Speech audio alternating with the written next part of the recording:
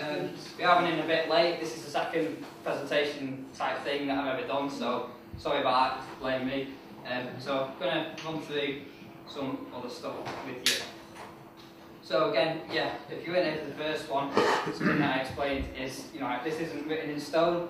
This is all like new technologies, new things that we're playing about with. No one really knows what, what we're doing. And uh, I love this tweet by Nicolas Gallagher.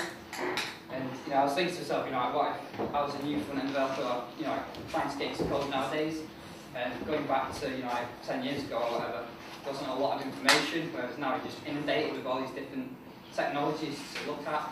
So, you know, just don't worry about it, because we're all still, you know, learning. so, yeah, although that is the case, you know, this is something that we should consider, because by 2015 it's predicted that mobile internet usage will actually outweigh desktop internet usage. Um, so what can we do?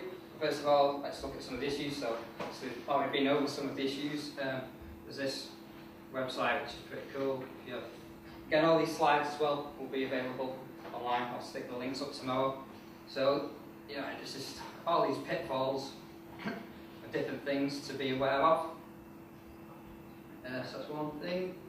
Obviously, like various sizes. There's just multitude of different sizes that we need to deal with. Deal with. I'll go into that in a bit. Again, various inputs. So I have a mouse. I've got this quick demo of this game that I love here. So I'm just going to do a quick demo. So this is basically just using my trackpad, and you move around, and you avoid these circles. I'm trying to bump into one and finish it. So it's game over. Now what this dude's done is absolutely fantastic. He's taken that, and again, I'll do a quick demo, hopefully. So this is actually now from the webcam trying to detect my face. Um, fingers crossed. So now, like, if I move up and down, it's like moving around. you do look mental.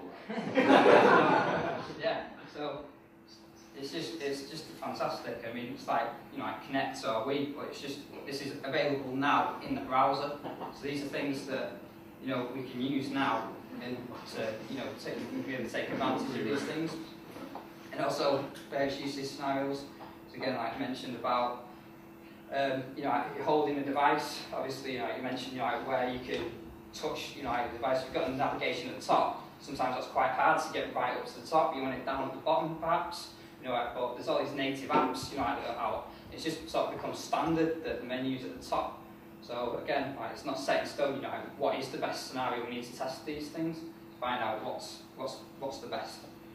Um, so yeah, another pitfall is that the media viewport isn't always what you think it's going to be. So I've got a few links here. One of the things that bit me is that some browsers take in the fact that they have got a scroll bar on the right and they'll add that pixel width to the viewport, others don't. So obviously you need to be aware of this.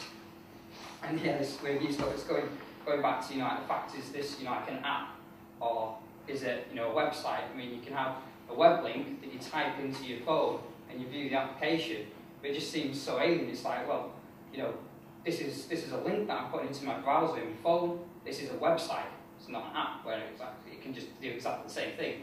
So just weird new stuff as well to be uh, aware of. Uh, I know you mentioned about the, the M dot side. Um, yeah, I'm personally not a fan.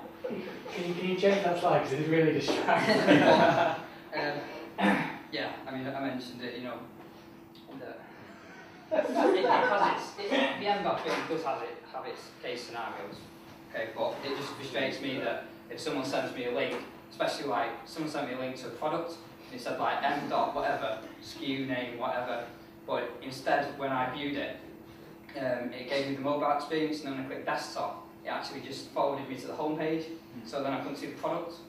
So, yeah, although it's got you know its use case scenarios, there's different things you know it can be used for and things that can go. So yeah, let's chill out. And there's, there's some things that we can. That I'd say that when I, I wouldn't actually do MDOT, I would Yeah. Deliver different HTML for small devices, Mm. but I wouldn't use MDOT, I would just let the app. Yeah. Can you say that we persuaded you about that? No, I just, you know, it's that, that'll be a good. I was only, I was only using end dot because it's quicker to say that than. Okay, right, exactly. Yeah. Right. Also, another thing, like going back to these different um, different dimensions and things like that, is I've just put two examples here.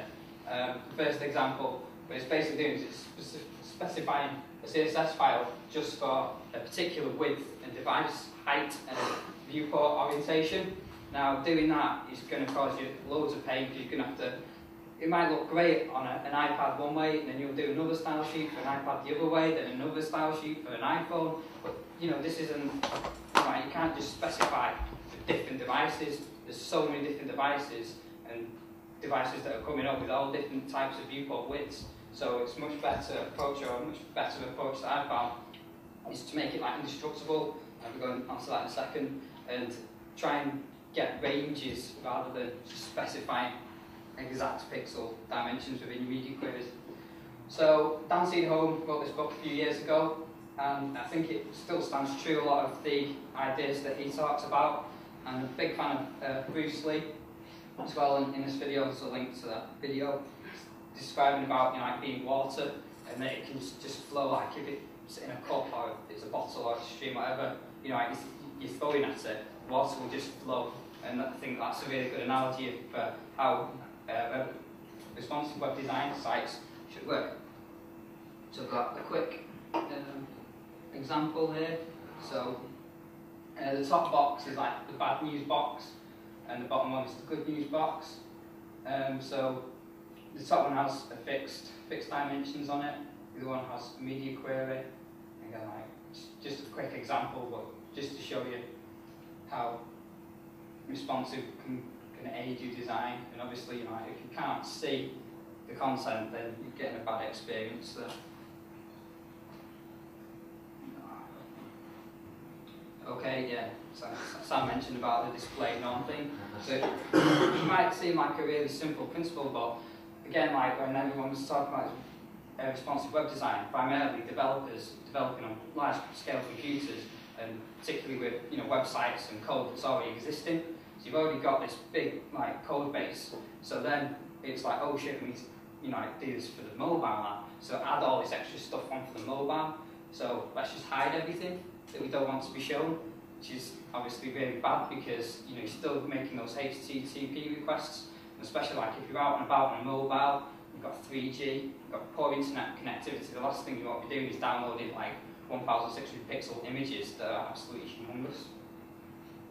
So yeah, try and start off with something that's just going to be really quick as well. Like people are now just so impatient. So if you go to um, a site on your phone, just show them something, even if it's anything. You know, I try and strip out the images or JavaScript if you're using like a big JavaScript code base. Just try and serve just a simple HTML with a bit of CSS to say, look, you know, you connected with working, something's going on here, and then try and maybe perhaps like load things in the background, but try and serve something to them as quick as possible to try and keep their interest going. Um, okay, so this is something that I wanted to show in the first one that I didn't manage to, so fingers crossed, I'll give a quick example of uh, this application that I use called Live Reload.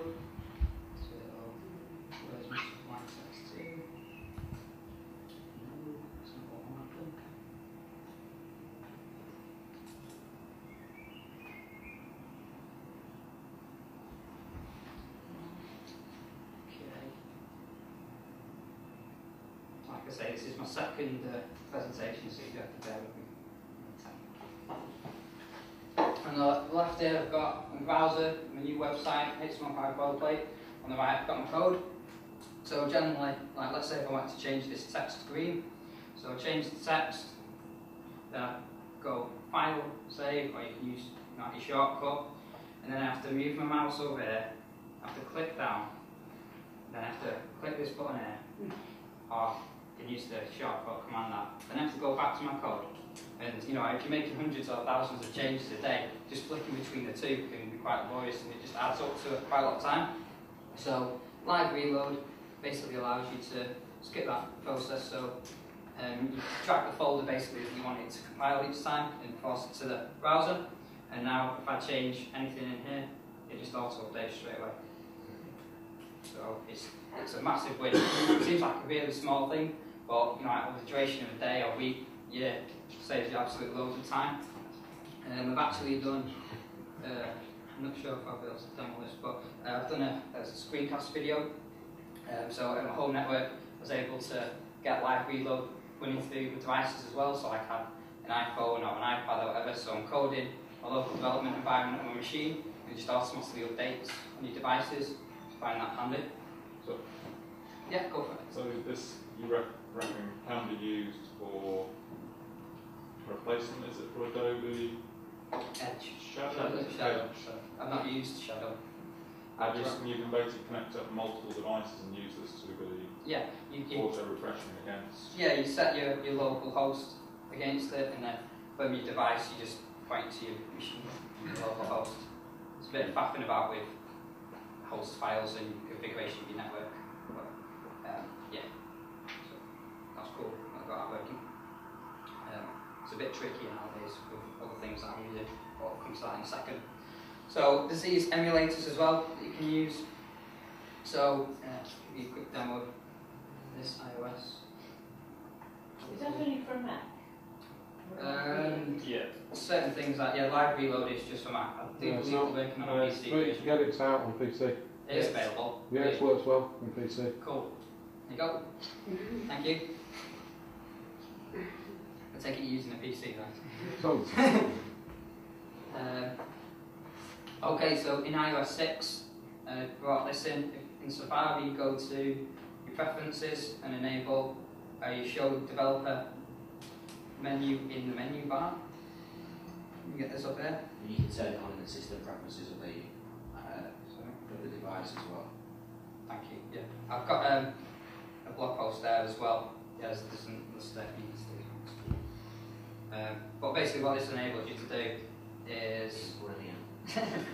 uh, you can just click your device there, and now you've got development tools that can help you debug, and you can even uh, live code. So let's take, for example, call it pixels solid, and you can see that updating there. So it's really helpful to debug. Uh, another thing you need to be careful of is if you're using uh, a device um, to do this, um, be careful that you're not in like incognito mode or anything like that. You know, like restricted browser access because you won't be able to connect as well. But yeah, that um, blog post there should help you out. If you get stuck trying to sort that out, a shout and I'll help you out. Um, Addy Osmani and Jake as well. Just done this absolutely fantastic video and it goes into depth now about how uh, how performance issues can, you know, cause issues within mobile devices and they do a brilliant demo um, on Android devices and using the Chrome DevTools. Um, and there's, there's just so so much like you can do with Chrome DevTools now. And look, who uses Chrome DevTools? I absolutely loads. And we still use Mozilla these days. Yeah. Addy Osmani, he's done on HTML5 Rocks, they've done all the. Addy Osmani does Yeah. everything. On how He's, he's all over the place. Yeah. Um, and Opera. Links, Okay. block. Um, okay, so one, one thing you can do is if you've got spare 10 grand, you can go down to it and uh, you know, set up a rig like this. Let's see if this video works. Your game Yeah, but it, you've, got, you've got to develop a game, right? So, obviously that's a brilliant setup there. Um, and what they do basically is you access your website there, it fires across to all these devices, including so, obviously, you know, not everyone's got £10,000 to spend, especially like with the current trend of how many devices are coming out. So, um, there's this thing called BrowserStack. Does anyone use BrowserStack? Oh, yeah. Tried it? Yeah. Unfortunately, I was going to do a demo, but my trials just ran out. Uh, so a bit good, but it's about 11 quid a month, roughly, if you pay for a year subscription. And basically, what it does is you can just fire up any device, and it's got absolutely loads of devices on there. So, like your Android devices, iOS devices, you can go like Windows uh, XP, Windows 8, uh, different, you know, IE 10, different versions of IE, if you ever want to go and do that. Um, So how, how do you find emulating touch? How's how, how did I find it? So, Well, touch. How do you find it Just working? all click or Right. like what? How's it? How's it do there are different things like you can use, like touch? Captain touch. For example, um, like this sort of thing you can do with shortcuts. Um, I've not actually used it extensively for different uh, mobile devices, so I can't really answer that, I'm afraid, but I'll try and find out for you. Speak to me later, I'll get back to you. So, right. Um, okay, so Tom, is he about? Yeah, Do you want so- to just give a, a quick shout out? Yeah, so Sam mentioned it before. Uh, it's this thing called the Open Device Lab, right? All across Europe and there's a few in the UK. The idea is, is that obviously no one can afford those big rigs at home. The idea is if uh, people who live in the community can just contribute devices and we bring them all together in one place and then anyone who wants to use them can just come and use them for free. The most northern one in the UK was in Cambridge, so a few weeks ago we started one up here in Tech Manchester. So started by Nightworld, which is the company that the guys who run Tech and me work on. Uh, so if you want to use it, it's downstairs. We've got only got three devices at the moment. We're growing slowly, right? If you've got any devices that you'd be willing to contribute, then uh, please do that. But also, if you want to use it, then just like bang us an email. You can use it anytime. Like, we've got an iPhone. We've got a couple of Android devices. Uh, the other thing as well is that you can use it for native development if you want to. So if you want to take it away for a few days, uh, better than using the dog slow Android emulators, uh, then feel free to do that as well. So yeah. Cool. Uh, you can tweet us like so we're at uh, ODL North. We've got a little website as well. So yeah. Yeah, I'll stick that on my blog as well. Like, definitely something we want to get growing. You know, just help us help us out. I think I was speaking to uh, called David Blumen. I think he works for the, the BBC. You saying what he does is every now and then he'll just take a day trip out and go around the supermarkets or whatever, and he'll go around Apple like. Check that, okay. And walk into a phone shop. Yeah, I'm after the uh, the new Nexus. Can you have a look at it? Just check his site. Yeah, looks okay. Actually, can I just try it on it and you know just go through them? So yeah, we were talking about um, Sass before as well. I, again, like about splitting the files up, something I like to do as well. Um, splitting up into partials. So basically, partials again is just an easier way to structure your CSS into these different files that are more manageable. Um, and obviously version them. And obviously, when you're versioning them, um, write decent commit notes. So quite often I'll find that I've wrote a particular bit of code and I've put a nice commit note with it, and then I can just go and search back for that commit note, and I'll find that code and I can just copy and paste it. so um, as well, yeah, when you're doing these all this authoring in pre-processes and things like that, um, there's these different things that can help you. So build scripts are brilliant and are really helpful. So you've got your development environment set up on your local machine, loads of comments to remind your future self when you come back to it six months why the fuck you did something. And build scripts will just basically minify everything for you, optimize the shit out of everything, and push it live for you. So they're absolutely awesome. Um, yeah, so there's a few there to go and check out. Um, source maps. Does anyone use source maps Oh with, within Sass? No. Fantastic, yeah.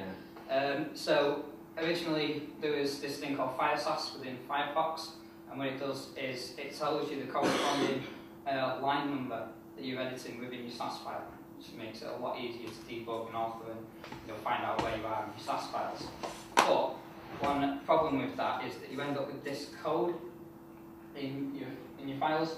So if you're then doing like a diff on these files to see what changes have been made, if someone else has edited it, you're collaborating on this project. So in this example, it's someone called Richard. If I came to it, if the file, say it's a thousand lines long, it would show diff you know a thousand lines, which is obviously you know, impossible then to find out the actual bit of code which has just been changed. So there's this thing that's sort of, and uh, uh, Chris Eppstein, who I think did Compass, he's just got a job now working at LinkedIn. Um, he wrote a blog about that, so he's going to have hopefully more time to devote to this. So hopefully, um, and also the proceeds of any donations from tonight will be going to Chris Eppstein as well. So hopefully he'll, he'll have a look at that. Wink, wink. Because it's awesome. So yeah, I mean, touch the games, you know, testing, and that's that's what I think you know we need to do. We need to test, test, test, test as much as we can. Find out what these issues are. Find different ways of trying to fix these issues and reporting these issues and you know talking about it and seeing what's working and what's not working. And if you don't test, then bad things can happen.